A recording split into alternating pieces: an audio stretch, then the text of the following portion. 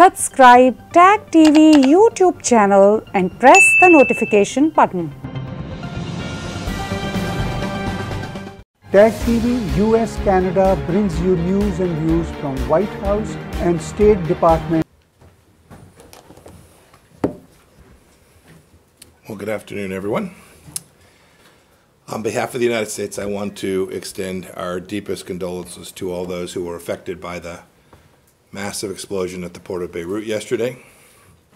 We stand ready to assist the government of Lebanon and its as it grapples with this horrible tragedy. Uh, you'll, you'll see the United States announce a, a number of things we intend to do to assist the people of Lebanon in the coming days. A quick logistical note. On Monday, I'll leave for the Czech Republic, Slovenia, Austria, and Poland, all great friends of America. It'll be a very important and productive trip, I expect.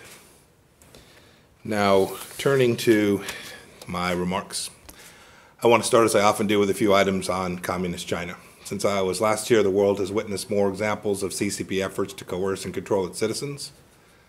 Other nations in the U.S. have put out a number of statements. We see it in Hong Kong, where authorities have delayed legislative elections, arrested pro-democracy activists, issued warrants for freedom-loving foreigners, including an American. I urge U.S. citizens to exercise increased caution while traveling to or in any place in China. We see the CCP's continuing ambition to control Muslim minorities in Xinjiang, and I commend the Treasury Department for using its global Magnitsky authorities against human rights violators there just this past week. And we see, too, the CCP's lawlessness elsewhere in the world. I issued a statement on Sunday about the Chinese flagged vessels' predatory fishing practices around the Galapagos Islands, which has alarmed our friends in Ecuador. Look, these aren't one offs. As I said at the Nixon Library this month, freedom loving nations must come together to confront the CCP's aggressive behavior. And the good news is the tide is absolutely turning. Uh, the central idea of distrust and then verify, I think the world is coming to see as the right approach to responding to these challenges. And we are working in this administration, the Trump administration, hard to protect Americans from those threats. In April, I announced our team's Clean Path initiative to keep Americans' data safe from untrusted vendors. Today, I'm pleased to announce the expansion of the Clean Network with the launch of five new lines of effort. I'll walk through them quickly. First, uh, Clean Carrier. We're working to ensure that untrusted Chinese telecom companies don't provide international telecommunication services between the United States and foreign destinations. I joined Attorney General Barr, Secretary Esper, and Acting Secretary Wolf in urging the FCC to revoke and terminate the authorizations of China Telecom and three other companies providing services to and from the United States. Second, we call Clean Store. We want to see untrusted Chinese apps removed from U.S. app stores. President Trump has mentioned impending action on TikTok, and for good reason. With parent companies based in China, apps like TikTok, WeChat, and others are significant threats to personal data of American citizens, not to mention tools for CCP content censorship. Third, clean apps. We're working to prevent Huawei and other untrusted vendors from pre-installing or making available for download the most popular U.S. apps. We don't want companies to be complicit in Huawei's human rights abuses or the CCP's surveillance apparatus. Fourth, clean cloud. We're protecting Americans' most sensitive personal information and our businesses' most valuable intellectual property including COVID vaccine research, from being accessed on cloud-based systems run by companies such as Alibaba, Baidu, China Mobile, China Telecom, and Tencent. The State Department will work closely with Commerce and other agencies to limit the ability of Chinese cloud service providers to collect, to store, and to process vast amounts of data and sensitive information here in the United States. Fifth and finally, clean cable. We're working to ensure that the CCP can't compromise information carried by the undersea cables that connect our country and others to the global internet. Huawei Marine significantly underbids other companies on multiple procurements to connect Asia, the Pacific, Africa, and Europe using Chinese state-backed undersea technology. We can't allow that to continue. We call on all freedom-loving nations and companies to join the clean network. The Trump administration's work to secure our democracy continues in other ways as well. The Department of State's Global Engagement Center is releasing a special report today on Russian disinformation and propaganda, focusing especially on proxy sites. Speaking of Russia and other malign actors, the State Department's Rewards for Justice program is offering a reward of up to $10 million for information leading to the identification or location of any person who, acting at the direction or under the control of a foreign government, interferes with U.S. elections by engaging in certain criminal cyber activities. A few comments on the Middle East. We welcome the agreement between the Republic of Yemen government and the Southern Transitional Council to advance the terms of the Riyadh Agreement, which will pave the way for a unified government that can counter Houthi aggression. We urge all the parties to implement the agreement's terms and support the UN Special Envoy's efforts to broker a countrywide political settlement. Of course, the conflict in Yemen is raged in large part because of the Islamic Republic of Iran's illegal arms transfers to the Houthis. And so, next week, the United States will put forward a resolution in the Security Council to extend the arms embargo on Iran. The Security Council's mission is to maintain international peace and security. The Council would make an absolute mockery of that mission if it allowed the number one state sponsor of terrorism to buy and sell weapons freely. The United States has conducted now a years long diplomacy on this matter. We have a bipartisan consensus in Congress. We have a 13 year consensus on the Council. And the proposal we put forward is eminently reasonable. One way or another, one way or another, we will do the right thing. We will ensure that the arms embargo is extended. And staying on United Nations matters for just a moment, it's outrageous that the Human Rights Council would offer to seat Cuba, a brutal, brutal dictatorship that traffics its own doctors under the guise of humanitarian missions. No country should vote Cuba onto the Council. Two quick items on religious freedom. First, on behalf of President Trump and the American people, I want to express our solidarity with the Yazidi people as we commemorate the sixth anniversary of the beginning of the ISIS genocide. Much has been done by our administration to help Iraqis recover, but much more work remains. And on a brighter note, I commend the progress that Sudan is making to protect religious freedom in its country as the country transitions away from radical Islamist rule. Last month, the civilian-led transitional government abolished apost apostasy as a crime, a solid step forward. Our global efforts, too, as I close, to fight the pandemic continue. This week, the State Department and USAID are releasing an incremental $53 million in new humanitarian and economic assistance to help vulnerable people and partners continue to fight this deadly virus, bringing our total to more than 1.6 billion.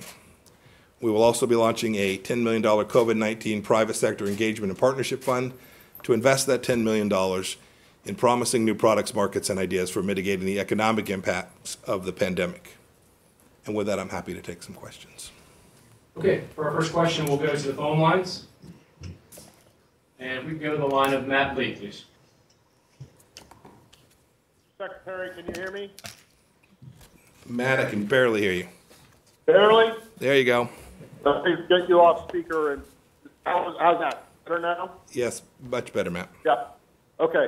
Um, thank you. Uh, two real quick ones. One on Iran. You said that uh, one way or the other, uh, one way or another, we will ensure the environment gets extended.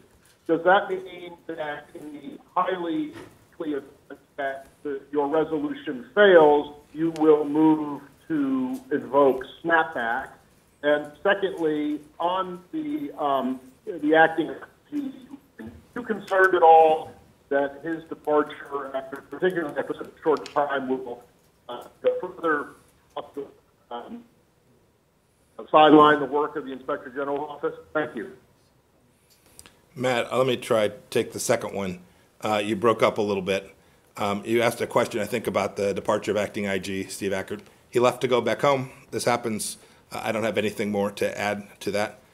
Uh, as for Iran, we've made clear, and I don't want to be too cute by half, our mission set is unambiguous. President's guidance is very, very clear. We're not going to let the arms embargo uh, expire on October 18th of this year. It's one of the central failings of the JCPOA and a bad thing for the world to allow Iran to buy and sell. You've seen, you've seen the comments in the press uh, about a deal between Iran and China there are nations lining up to sell weapons that will destabilize the Middle East, put Israel at risk, put Europe at risk, risk American lives as well. We're not going to let it happen.